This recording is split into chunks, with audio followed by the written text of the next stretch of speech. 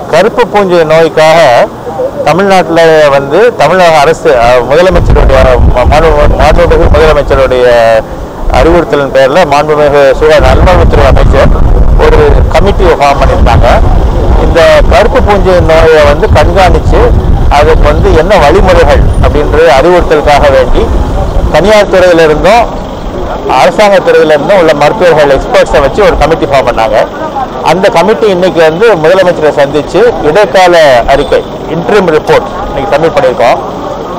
இன்னைக்கு வந்து உள்ள நிலைமை என்னன்னா தமிழ்நாட்டில் ரெண்டாயிரத்தி எழுநூறு கருப்பு பூஞ்சை பேஷண்ட்ஸ் இருக்காங்க. அதில் இந்திய அளவில் பார்த்தீங்கன்னா முப்பத்தி மூணாயிரத்துக்கும் மேலே கருப்பு பூஞ்சை பேஷண்ட்ஸ் இருக்காங்க. தமிழ்நாட்டில் ரெண்டாயிரத்தி எழுநூறு பேர் இருக்காங்க. ஆனால் இதில் உள்ள நல்ல விஷயம் என்ன அப்படின்னா ரெண்டு விஷயம். ஒன்று வந்து மே மாதத்தில் வந்து நமக்கு ஒரு நாளைக்கு தினசரி எண்ணிக்கை.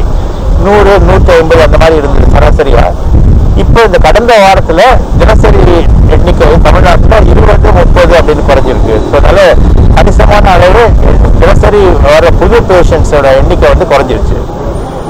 ரெண்டாவது நல்ல விஷயம் என்னன்னா இந்த நோய் தொற்று ஒரு கொடிய நோய் தொற்று. இதுக்கு வந்து உண்டான சிகிச்சைகளும் ரொம்ப ரொம்ப ஒரு மேஜர் சர்ஜரிஸும் மருந்துகளும் எல்லாம் கொடுக்க வேண்டியிருக்கு. அப்படியெல்லாம் கொடுத்தும். மற்ற மாகாணங்களை விட இங்கே உள்ள இறப்பு விகிதம் ரொம்பவும் கம்மி. ஏன்னா மற்ற மாகாணங்களில் எட்டு பதினஞ்சு முப்பது சதவிகிதம்லாம் இறப்பு விகிதம் சொல்லியிருக்காங்க.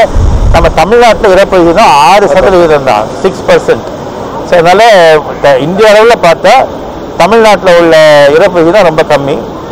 இந்த எக்ஸ்பர்ட் கமிட்டி வந்து அதுக்கு உண்டான சில முக்கியமான அறிவுறுத்தல்களை வந்து அவங்க உண்- ஏற்படுத்தி எல்லா மருத்துவ மருத்துவக் கல்லூரிகள்லையும் இதுக்காக தனி வார்டு அமைச்சு அந்த வார்டை கண்காணிக்கிறதுக்கு ஒரு தனி கமிட்டி அமைச்சு தமிழ்நாடு அளவில் ஆறு ரீஜினல் சென்டர்ஸ் அது மாதிரி ஆறு ரீஜினல் சென்டர்ஸ் தஞ்சாவூர் மதுரை கோயம்புத்தூர் சேலம் சென்னை அது மாதிரி ஆறு ரீஜனல் சென்டர்ஸ் உற்பத்தி அந்த ஒவ்வொரு சென்டர்லையும் அதுக்காக தனி வார்டுகள் கருப்பூஞ்சிக்காக வேண்டிய வார்டு ஏற்படுத்தி அதை கண்காணிக்கிறதுக்கு ஒரு எக்ஸ்பர்ட் கமிட்டி காது மூக்கு நிபுணர் கண் நிபுணர் neuro surgeon diabetes doctor physician இந்த மாதிரி எக்ஸ்பர்ட்ஸ் அது மைக்ரோபயாலஜிஸ்ட் எல்லாம் சேர்ந்து அதை வந்து வ- க- பார்த்ததுனால நம்மளுடைய ரிசல்ட்ஸ் வந்து நல்லபடியாக வந்திருக்கு.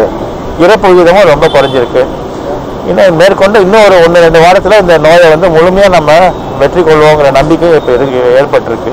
ஸோ அதனால் இதுதான் இன்றைக்கி இந்த இ- இடைக்கால அறிக்கையில் முதலமை முதல்வரை சந்தித்து மாண்புமிகு முதல்வர்கிட்ட இந்த உடைய இந்த அறிக்கையில் இது எல்லாத்தையும் எடுத்து அவர்கிட்ட சொல்லி அவருக்கு விளக்கம் கொடுத்து அவர் கேட்ட சந்தேகங்கள்லாம் தீர்த்துட்டு வ- மருந்து இதுக்குண்டான மருந்துகள் வந்து ஓரளவுக்கு முதல்ல கட்டுப்பாடு இருந்தது கிடைக்கவே இல்லாமல் இருந்தது. அதனால் இதுக்கு மாற்று மருந்துகள் செகண்ட் லைன் மெடிசின்ஸை வச்சு மேனேஜ் பண்ணுறதுக்கு உண்டான அறிவுறுத்தல்களை பண்ணோம். அதனுடைய விளைவு நல்லபடியாக வந்திருக்கு ரிசல்ட்ஸு ஸோ அந்த மருந்துகள் தட்டுப்பாடு இப்போ ஓரளவுக்கு அதுவும் முதல்வருடைய முயற்சினால இப்போ அதுவுமே குறைய மருந்துகளும் கிடைக்க ஆரம்பிச்சிருச்சு. அதே சமயத்தில் ரெண்டாவது லைன் செகண்ட் லைன் மருந்துகளையும் கொடுத்து இப்போ நல்ல ரிசல்ட்ஸ் ரொம்ப நல்லபடியாக நமக்கு அல்டிமேட்டாக வந்து இந்த வியாதியினுடைய நம்மளுடைய முயற்சிகள் எவ்வளோ வெற்றி அடைகிறதுங்கிறது எவ்வளோ இறப்பு விகிதம் கம்மியாக இருக்குங்கிறது அதுக்கு அறிகுறி. வெஜ் மற்றும் நான்வெஜ் சமையல் குக்கிங் ரெசிபிகளை தமிழ் குக்கிங் ரெசிபி சேனலில் கண்டு மகிழுங்கள். சேனலை காண கீழே உள்ள லிங்கை கிளிக் செய்யுங்கள்.